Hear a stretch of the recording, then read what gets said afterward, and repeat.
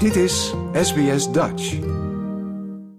Elke plek in Australië heeft een eigen geschiedenis die tienduizenden jaren van land, cultuur en taal bevat. Een groeiende verschuiving in de gebouwde omgeving streeft erna om deze lokale kennis zichtbaar te maken in onze leefruimtes.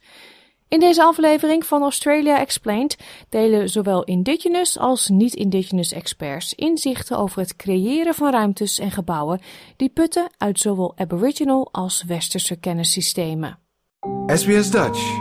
Deel onze verhalen op Facebook.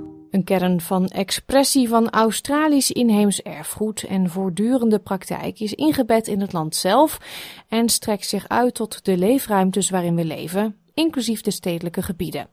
Dus hoe moeten architecten, overheidsinstanties en andere creatieven omgaan met indigenous kennis bij het ontwerpen van deze omgeving?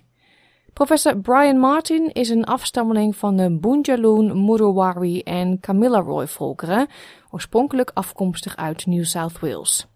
Hij is een van de mede-auteurs van het International Indigenous Design Charter, waarin best practice protocollen voor cultureel responsief commerciële ontwerpen worden vastgesteld. In de gebouwde omgeving betekent ontwerpen met culturele overwegingen een specifiek ontwerp voor de gemeenschap. Of het nu gaat om een openbaar gebouw, een plein of een muurschildering, het ontwerp kruist de inheemse cultuur op de plek waar het project zich bevindt. Professor Martin legt uit hoe deze aanpak de diversiteit van inheemse culturen in Australië weerspiegelt. We think about indigenous knowledge indigenous ways of knowing, or when we think about design in particular, all knowledge comes from place. And that's why best practice protocols are about looking at locality and therefore traditional owners of that location and what knowledge and design and that sort of thinking that relates to that particular place and country. So, you know, indigenous led is country led. Architect Jeva Greenaway is het daarmee eens. Hij is een van de eerste erkende Aboriginal architecten in Victoria, oorspronkelijk afkomstig uit New South Wales en een afstammeling van de Wailong, Kamilaroi en Darawal volkeren. Greenaway legt uit dat het erkennen van de diversiteit van inheemse culturen in architectuur meer is dan alleen inclusie. Het bevordert de gelijkheid van het ontwerp. Invariably First Nations people haven't necessarily had a seat at the table to engage within major built form projects. And so it really becomes an opportunity to support voice and agency. En het opnieuw benadrukken van de belangrijkste rol van het land betekent het ontwerpen van projecten die alle kanten van de geschiedenis van een plaats vertellen. Niet alleen de geografie, maar bijvoorbeeld ook de banden met familie en de liedlijnen. What I mean by that is understanding where a project is located and the specific country or language group in which it's situated. We know across this vast island continent that there are over 270 distinct language groups and 600 dialects. Als je rondloopt op de campus van de Universiteit van Melbourne, zie je een voorbeeld van deze country-geleide ontwerpaanpak op de plek waar het studentencampus aansluit op Swanson Street in CBD. Jeffa Greenaway, die het project samen leidde, vertelde hoe het ontwerpproces zich ontwikkelde.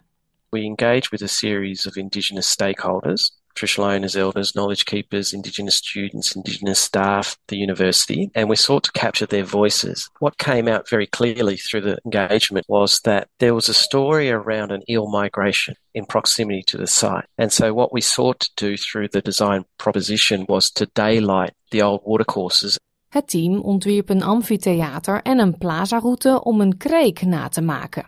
In die kreek, op de traditionele grond van de Kulin Nation, zwom meer dan 60.000 jaar paling om de Birrarong, oftewel de Yarra River, te bereiken voor een voortplanting. Ze gebruikten ook inheemse planten en materialen en creëerden een watersysteem met vijvers rondom de campus. Op de plek van de oude kreek werden leidingen gelegd om het regenwaterafvoersysteem van de stad te ondersteunen en palingen gebruiken het nog steeds om te migreren. Jeffa Greenaway zegt dat dit een voorbeeld is van country-led design dat culturele continuïteit zichtbaar maakt. Supports the idea of cultural continuity. So, too often in the past, Indigenous culture has been framed around it is set back in time. What this does is it reframes and recasts an understanding that we're building upon a legacy of 67,000 years of continuous connection to this place. Professor Martin zegt dat relationaliteit een ander belangrijk element is van inheemse ontwerpprocessen. Dit betekent dat het belangrijk is om diep contact te maken met de plek en de mensen. Culturele protocollen zijn niet gewoon maar taken op een lijst die je kunt afvinken zonder eerst een relatie op te bouwen. Ontwerpers moeten voortdurend contact onderhouden met de plek en de mensen. Ze mogen culturele protocollen niet zien als taken op een lijst die eindigen na een bepaalde projectfase. Relationality is a foundational part of our interactions with place and the agency of country. One of the specific principles of deep listening is really important. You know, that goes beyond the construct of time. Relationships are built around the time of the project, whether it be a research project or a design project, be an architectural firm or government body or practitioners themselves, still need to build the relationality with people and place. Desiree Hernandez Ibinariaga is een Mexicaanse vrouw van Maya, Azteekse en Baskische afkomst en hoofddocent aan de afdeling Design van Monash University. Tijdens haar promotieonderzoek, waarbij ze samenwerkte met inheemse jonge vrouwen in Australië en Mexico en niet-inheemse leraren, ontwikkelde ze een ontwerpmethodologie die voorrang geeft aan de kennis van First Nations en de bioculturele diversiteit. Something important in indigenous methodologies is the sense of cultural identity because it's attached to how we see reality or our cosmology. Om deze reden zegt Dr. Ibinariaga dat het opbouwen van relaties niet alleen een vereiste is voor country-led designs, maar ook een daadwerkelijk resultaat. Voordat ze haar onderzoek met indigenous tieners begon, dat resulteerde in een bioculturele workshop, bracht ze enkele maanden door als bewoner op hun internaat op het platteland van Victoria. De workshop was ontworpen om de culturele identiteit van de studenten te versterken door middel van verbindingen met country. In indigenous methodologies, something that we need to center is country, like the land, the skies, the waters that we live in.